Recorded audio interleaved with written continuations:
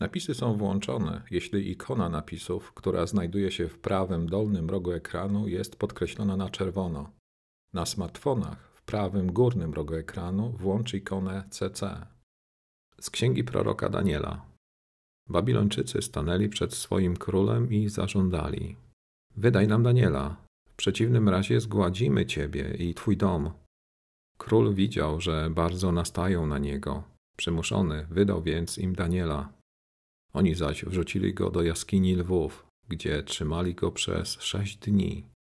W tej jaskini było siedem lwów, którym dawano dwa ciała ludzkie i dwie owce dziennie. Teraz jednak nie dano im nic, żeby pożarły Daniela. W Judei zaś był prorok Habakuk. Ugotował on zupę, nadrobił do miski chleba i poszedł w pole zanieść to żniwiarzom. Anioł pański rzekł do Habakuka: Zanieś ten posiłek Danielowi do Babilonu, do jaskini lwów. Habakuk odpowiedział: Panie, nigdy nie widziałem Babilonu i nic nie wiem o jaskini lwów. Chwycił go więc anioł pański za włosy i tak niósł w szumie swojego wichru aż do Babilonu, do jaskini lwów. Habakuk zawołał: Danielu, Danielu, przyjmij posiłek, który przysyła ci Bóg. Daniel powiedział: Pamiętałeś o mnie, Boże, i nie opuściłeś tych, którzy cię kochają. Gdy Daniel zaczął jeść, anioł pański natychmiast zabrał Habakuka z powrotem. Siódmego dnia przyszedł król, żeby płakać nad Danielem. Przyszedł, zajrzał do jaskini i zobaczył siedzącego Daniela. Zawołał głośno: Panie, Boże Daniela, jesteś wielki i poza tobą nie ma innego. Kazał wyciągnąć Daniela, a tych, którzy chcieli go zgładzić, wrzucił do jaskini i natychmiast zostali pożarci. Pan z wami. Słowa Ewangelii według świętego Mateusza. Odchodząc stamtąd, Jezus ujrzał człowieka imieniem Mateusz, siedzącego w komorze celnej i rzekł do niego, pójdź za mną. On wstał i poszedł za nim. Gdy Jezus siedział w domu za stołem, przyszło wielu celników i grzeszników i siedzieli wraz z Jezusem i Jego uczniami. Widząc to, faryzeusze mówili do Jego uczniów, dlaczego wasz nauczyciel jada wspólnie z celnikami i grzesznikami? On, usłyszawszy to, rzekł, nie potrzebują lekarza zdrowi, lecz ci, którzy się źle mają. Idźcie i starajcie się zrozumieć, co to znaczy. Chcę raczej miłosierdzia niż ofiary. Bo nie przyszedłem powołać grz sprawiedliwych, ale grzeszników. Oto słowo Pańskie. Niech słowa świętej Ewangelii zgładzą nasze grzechy. Usiądźmy.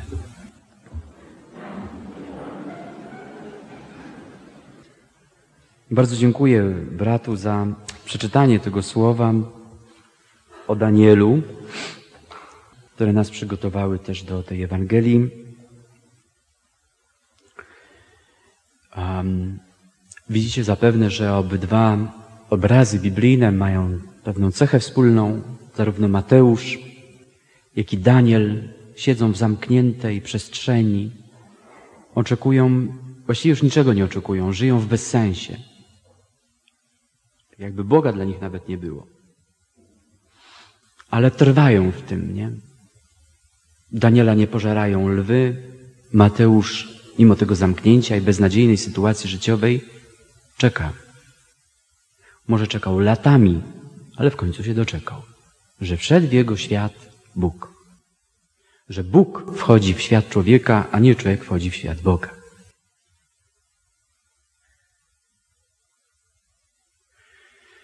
Najlepiej widzimy opiekę Bożą wtedy, kiedy człowiek jest na dnie. Izrael doświadczył opieki Bożej, opieki Boga, gdy kroczył dnem Morza Czerwonego. Mojżesz nie wybudował mostu nad Morzem Czerwonym. Nie wybudował nawet kładki. On kazał ludowi zejść na dno, prosto w wodę. W momencie, kiedy stopy ich sięgnęły wody, woda się rozstąpiła. Ale dno nie ustąpiło. Oni szli dnem. Dnem wyszli z Egiptu. i dnem weszli do ziemi obiecanej, przechodząc przez Jordan. Dołem. Dla wybrańców Boga dno tego morza było po prostu drogą. Możemy inaczej pomyśleć. Drogą Twoją jest dno. Jeśli jesteś wybrańcem Boga. Egipcjanie, którzy ścigali Izraelitów, mieli rydwany, konie. Oni w tym błocie, w tym bagnie ugrzęźli. Przyszła woda z powrotem, potopili się. Ta sama sytuacja, to samo dno, ale dla kogoś, kto nie jest wybrany przez Boga, będzie zagładą. Ale dla kogoś, kto jest uświęcony obecnością Pana, to doświadczenie będzie drogą. My wiecie dobrze, że w Biblii słowo święty w odniesieniu do człowieka nie oznacza kogoś, kto jest doskonały moralnie, kto jest idealny, kto perfekcyjnie się zachowuje, precyzyjnie myśli. Że święty to znaczy naznaczony obecnością Boga, kadosz. To jest ktoś taki, w kim jest Bóg i Bóg jest z nim zawsze. I dlatego on jest święty, bo w nim jest obecność Boża. Przy całej słabości i przy całej doskonałości istnienia tej osoby. Kiedy Bóg kogoś kocha, to nawet dno, nawet dno morza, nawet dno jaskini Daniela, nawet sytuacja bez wyjścia, w jakiej był Mateusz, zamknięty w komorze celnej, jest drogą, jest wyjściem. To też jest eksodus, wyjście. Nigdy nie jesteśmy pozostawieni, bracia i siostry, sobie samym. Nigdy nie jesteś pozostawiony, pozostawiona sobie samej. Danielem możesz być ty w swoim zdołowaniu życiowym. Ty też możesz mieć taką jaskinię jak Daniel, taką komorę celną jak Mateusz. Może to jest akurat twój etap życiowy.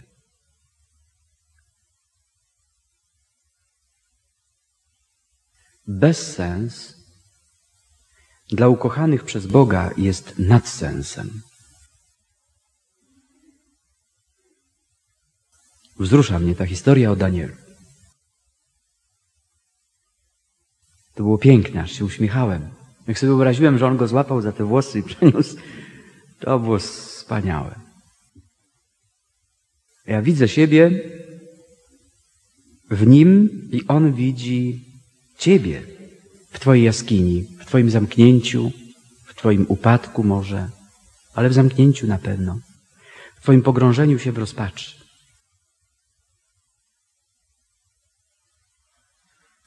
Żadna bestia nie mogła się rzucić na Daniela. Było ich siedem. W każdej chwili mógł być rozszarpany na kawałki. Czasem tak jest w domu, że wchodzisz do domu i tam może jest siedmioro nawet osób oprócz ciebie. I wszyscy jak lwy. Słyszysz przekleństwa, wyzwiska, ale lew się jednak nie rzuca na ciebie, nie rozszarpieć. Chociaż straszne rzeczy przeżywasz latami.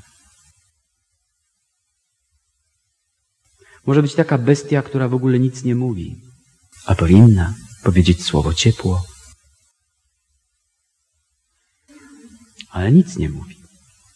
Bestia, która się nie odzywa i dlatego nie daje miłości. Czasem twój dom może być jaskinią. W takim dnie i wspólnota może być jaskinią. Że ludzie patrzą na ciebie jak lwy na ewentualną ofiarę. Kościół może być jaskinią. Że i kapłan może tak na ciebie patrzeć. Są różne etapy. Żadna bestia nie mogła się rzucić na Daniela, bo był wybrańcem Boga. Ponieważ ręka Boga spoczywa na tych, których odrzucają ręce ludzi. Zastanów się tylko, co jest pierwsze. Czy dlatego świat niektórych odrzuca, ponieważ są wybrani przez Boga? Czy Bóg swojej sprawiedliwości odrzuconych przez ludzi naznacza swoim wybraniem? Jak myślisz?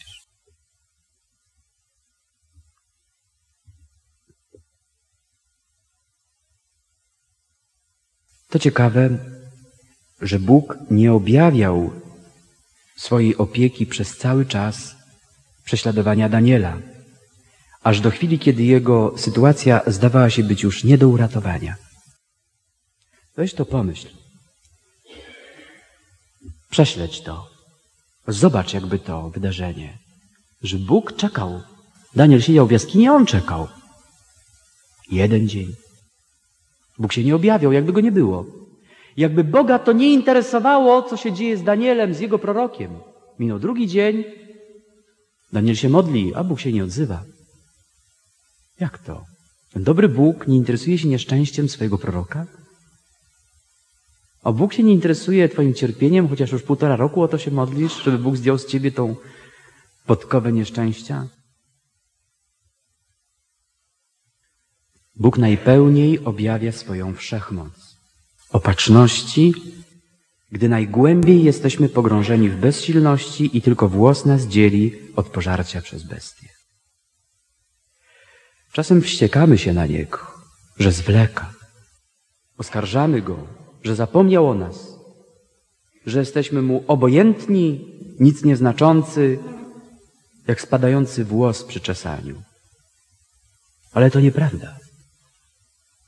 On objawia swoją opiekę w ostatniej chwili, w ostatnim drgnieniu wskazówki, która pokrywa już dwunastą godzinę jak miecz kata spadający na szyję skazańca.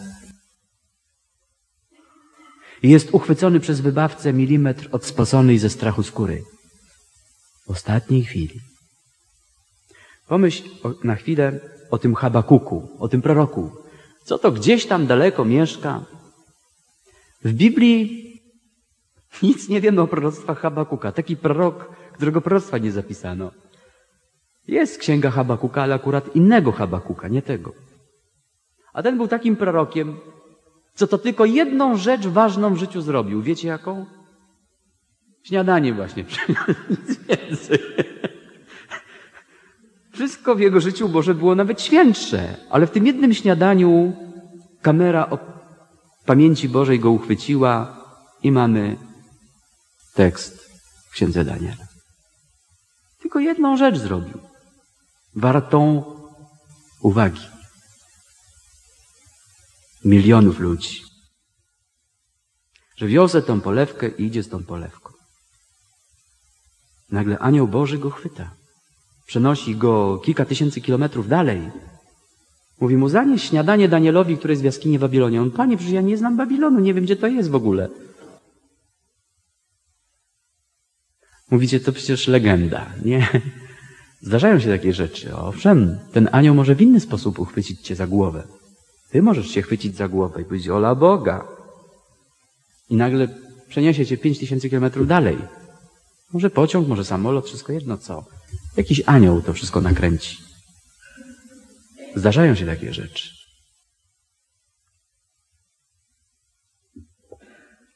Pomyśl na chwilę o tym Habakuku. Nigdy nie poznamy jego proroctw. Znamy go tylko z tego lotu. Anioł porwał go za włosy z rodzinnej miejscowości i przeniósł kilka tysięcy kilometrów dalej tak szybko, że nie zdążył spakować torby podróżnej. Nikomu nieznany z proroctw prorok. Prorok nie musi być sławny. Prorok musi być słowny. Prorok musi mieć słowo. Sława nie musi mieć. Prorok musi być wierny w wykonywaniu Słowa Bożego. Nie musi krzyczeć, nie musi oskarżać, musi uczynić coś, co nigdy nie przeminie, nawet gdyby to miało być jajecznicą polewką z chlebem.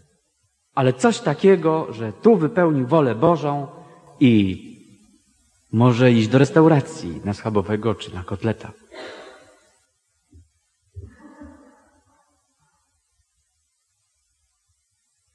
Ale to będzie już na całe wieki.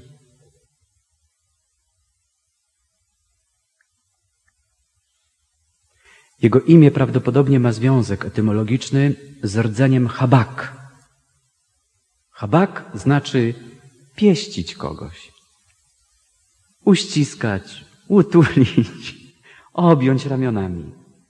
Hmm. Habakuk to przytulenie Boga.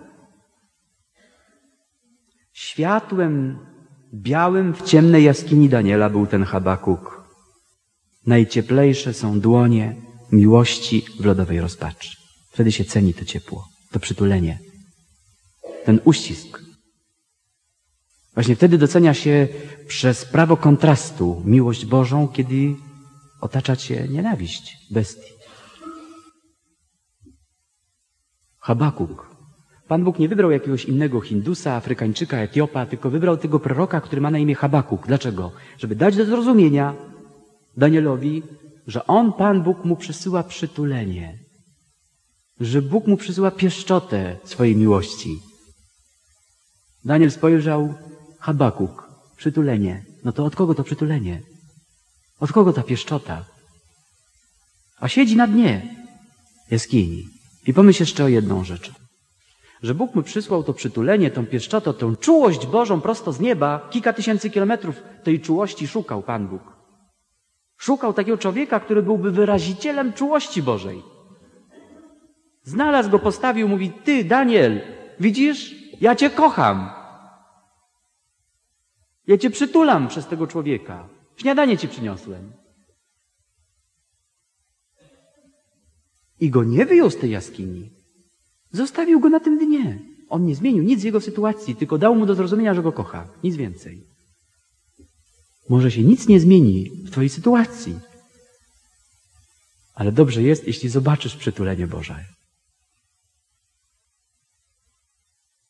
Słowa z daleka są niekiedy bliższe człowiekowi niż myśli wydobyte z samego wnętrza.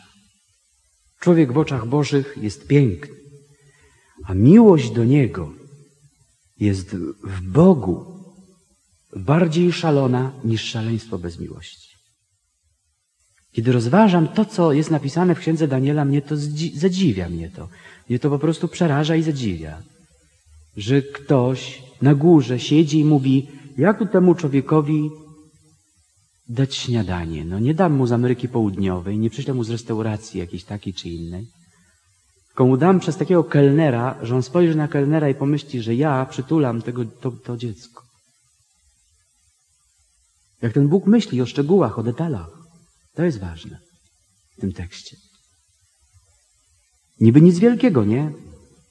Taka polewka z chlebem, no co to znowu, no? Kiedy ktoś jednak daje ci prezent, to nie szukaj w tym prezencie wad. Wartość daru jest w pamięci o Tobie i w ofiarowaniu go Tobie, a nie w samym podarunku nawet. Tylko uświadom sobie, że ktoś o Tobie myśli. Tak jest darami Bożymi. Poza tym ta polewka z chlebem, no.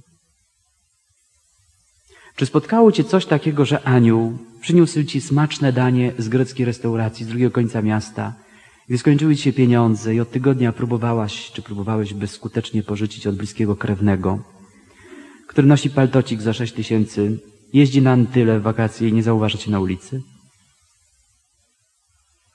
Jeśli nie czujesz się pominięty, pominięta, mimo tego, że Cię nie zauważają najbliżsi, jesteś, jeśli nie czujesz się pominięty, mimo tego, że Cię nie zauważają, to jesteś blisko Boga. Bo jeśli Cię ktoś nie zauważa, a Ty czujesz się pominięty, to nie jesteś blisko Boga. Jesteś tylko daleko od ludzi. Prawdziwy spokój jest dostępny dla tych, co żyją pośród niepokoju. Dlaczego Bóg objawił się dopiero wtedy Jakubowi, gdy go rozłożyło życie na łopatki i leżał tak poniżony wygnaniem z domu na drodze do Haran w ciemną noc? Dlaczego Jezus przemówił do Szawła, gdy ten upadł na wznak? z galopującego konia w drodze do Damaszku.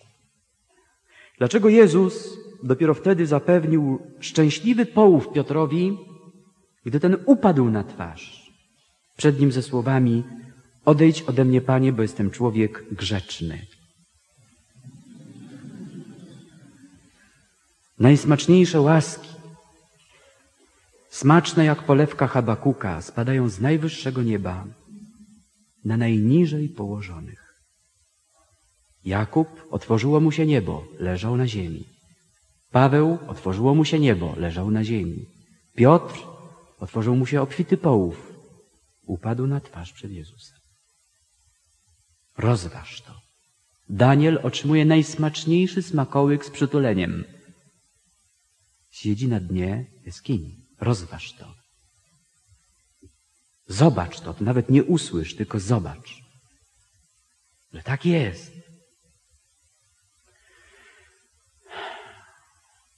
Daniel pośród lwów to człowiek przegrany, osądzony, zniszczony przez oskarżenie społeczności.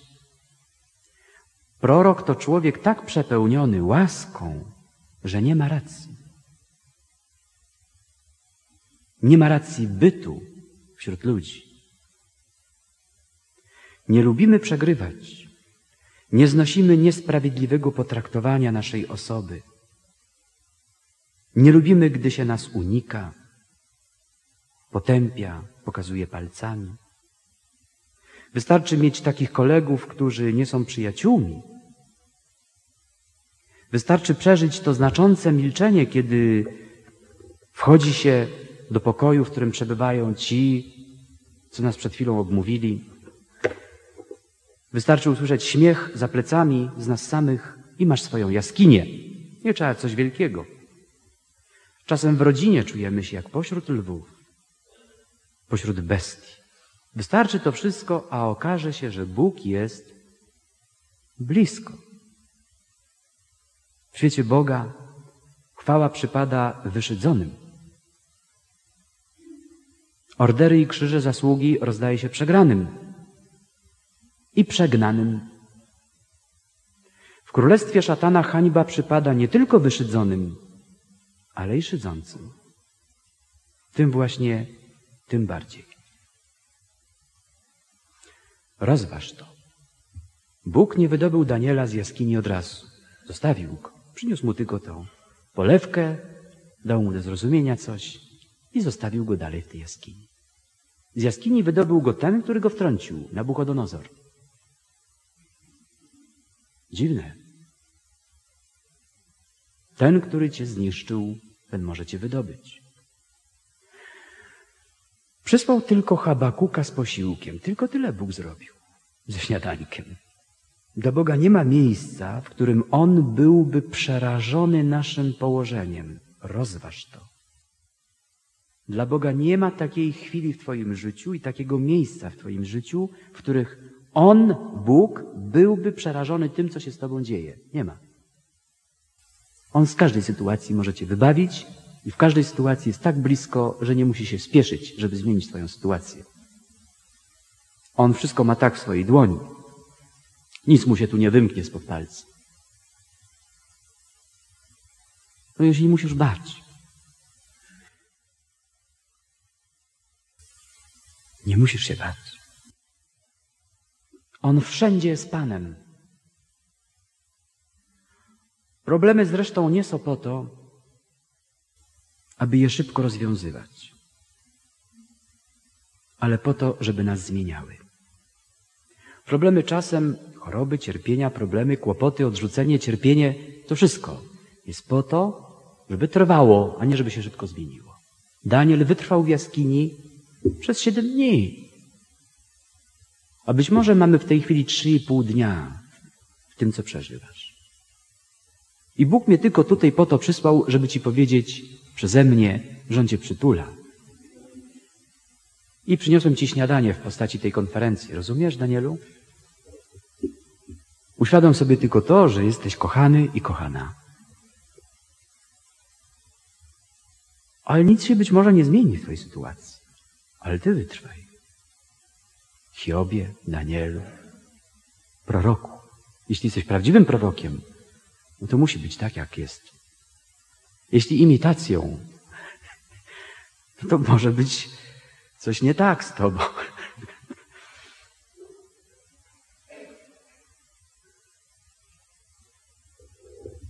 Nie musi się nic zmienić na lepsze w Twoim położeniu. Bóg nie obiecuje nikomu życia bez kłopotów. Obiecuje tylko, że nawet w największych kłopotach podąży za nami jak matka z łyżeczką manny, by nakarmić swoje dziecko. Najcudowniejsze minuty przeżywają z Bogiem ci, którzy potrafią wytrwać w najokropniejszych godzinach, wierząc, że Bóg nie opuszcza nigdy. Niezmienny brak nadziei na poprawę naszego losu zmienia coś ważniejszego niż los. Zmienia nasze myślenie. Pozwala odkryć obecność Boga, która jest przytuleniem, ogarnięciem ramieniem, karmieniem łyżeczką wypełnioną manną. Kiedy czytam o mannie na pustyni, taki tekst, Księga Wyjścia, że Bóg karmił manną swój lud. Jest napisane, że ich było 600 tysięcy ludzi. Mniejsza z tym, ile ich było. 600 tysięcy dzieci. W miejscu, gdzie nawet nie było baru mlecznego. Zastanawiam się nad średnicą talerza, z którego podnosił Ojciec Wszechmogący łyżeczkę z manną. Ten talerz musiał być chyba latający. Musiał być chyba też tak duży jak latający talerz może jakiegoś filmu science fiction. Przypominam sobie swoją mamę, która sadzała mnie na kolanach, gdy jeszcze nie rozumiałem wielu słów ludzkich. Ale pamiętam ten obraz. I opowiadając nieprawdopodobne bajki, raz po raz zanurzała lśniącą łyżeczkę w lepkiej białej mannie. Pamiętam ten smak i karmiła mnie delikatnymi ruchami swej ręki. O, jak mi było dobrze. Manna była słodka i pisałbym o niej zapewne więcej niż Marcel Proust o Magdalenkach z Combray. Czyniła to zawsze w kuchni, gdzie huczał ogień w piecu i było trochę piekielnie. Ale ciepło było na kolanach. Myślę teraz o Bogu, że On czasem nam piekielną atmosferę sprawia, ale kolana są blisko, mówię wam naprawdę. Talerz w powietrzu wisi. Dzisiaj mannę wam rozdam, każdemu dam do pyszczka. To było takie cudowne.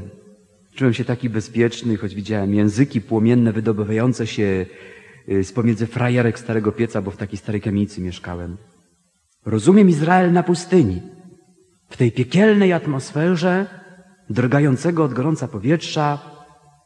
Rozumiem Daniela pochłaniającego apetytem polewkę, gdy go otaczały czerwone jęzory lwów. Bóg jest takim ojcem macierzyńskim, jak to śpiewaliśmy. I On jest takim Panem, że nawet jeśli dookoła masz to piekło i bestie, jako to w ogóle nie interesuje. On tak panuje nad sytuacją, że przyjdzie i nakarmi cię, nie zauważając tych bestii, które ciebie otaczają. Ty się też nie bój. Jak Pan jest z tobą, co ci się może stać? Wierz w to, że jesteś na Jego kolanach. Dzisiaj na Komunii Świętej, bez łyżeczki, w paluszkach, wezmę to mannę, będę Cię karmił. Będę się tak cieszył, że tym razem ja jestem w tej roli mamusi. Amen.